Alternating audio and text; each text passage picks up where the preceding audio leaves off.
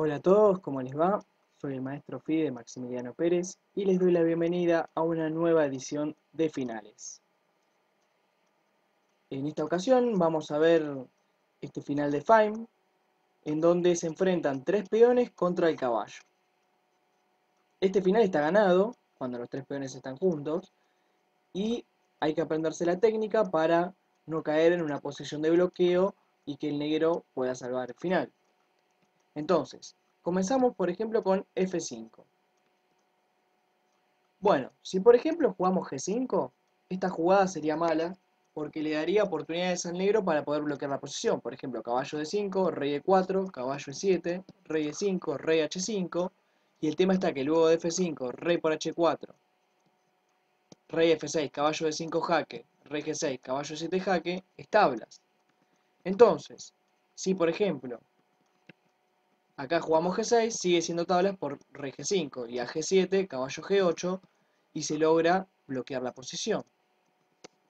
Entonces, lo primero que tenemos que saber para poder jugar este tipo de finales es que no debemos dejar huecos entre los peones.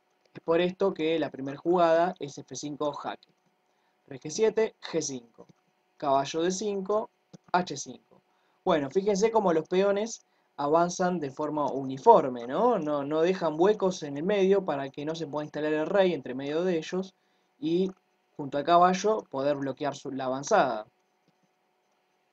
Bueno, caballo C3, por ejemplo, otra opción podría haber sido rey F7, aunque luego de H6, caballo C3, H7, el final está ganado. Rey G7, G6, y bueno, la amenaza aquí es F6, ¿no? Bueno,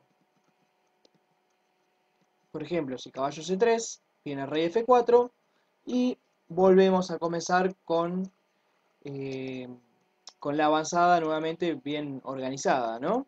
Caballo 2 jaque, rey E5, caballo G3, F6, rey G8, H6. En este caso, al caballo, como el caballo está mal ubicado, podemos jugar H6 porque el negro no puede aprovechar el hueco. Fíjense que si por ejemplo juega en vez de caballo H5, rey h7, viene f7 y está coronando.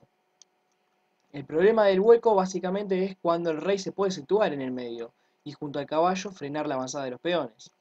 Caballo L5, G6, otra vez la uniformidad de los peones, caballo G3, H7 jaque y luego rey H8 simplemente con F7 se gana porque si por ejemplo viene rey G7, F8 jaque, no, perdón, H8 jaque, mucho mejor todavía, eh, coronando dama jaque, rey por h8, f8 igual mate, ¿no? Bueno, entonces, para ganar este final es muy importante que los peones no dejen una casilla en el medio libre y que el rey la pueda ocupar. Pasemos al próximo final. Este final consiste en poder aprovechar eh, el peón torre y nos muestra un recurso táctico muy importante a tener en cuenta y es lo que se llama la casilla tonta del caballo. Esta casilla es G7 o B7 o B2 o G2. ¿Por qué es la casilla tonta? Porque desde esa casilla el caballo no puede defender el avance del peón H. Es por esto que acá en esta posición, caballo G7 jaque es la solución, ¿no?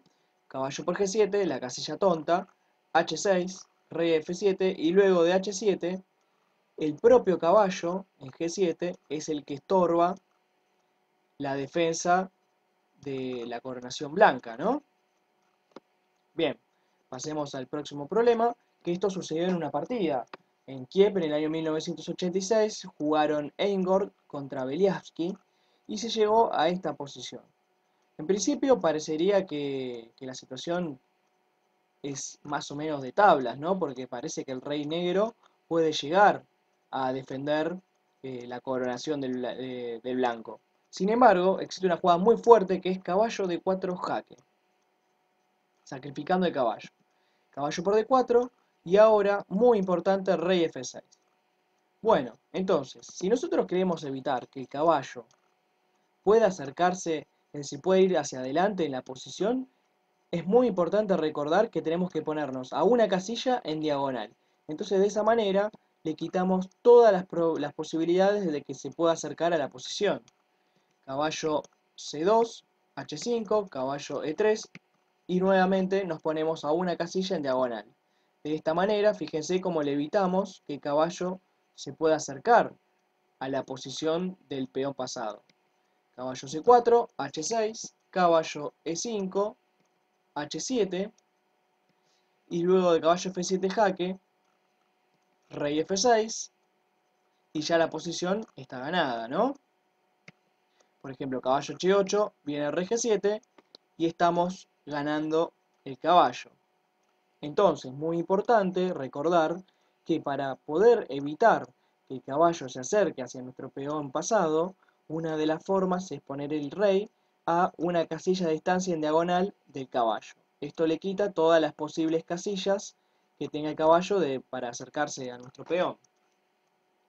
Bueno, espero que les haya gustado el video. Si quieren ver más videos como este pueden suscribirse a mi canal.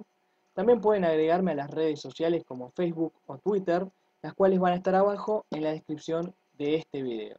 Desde ya, muchas gracias.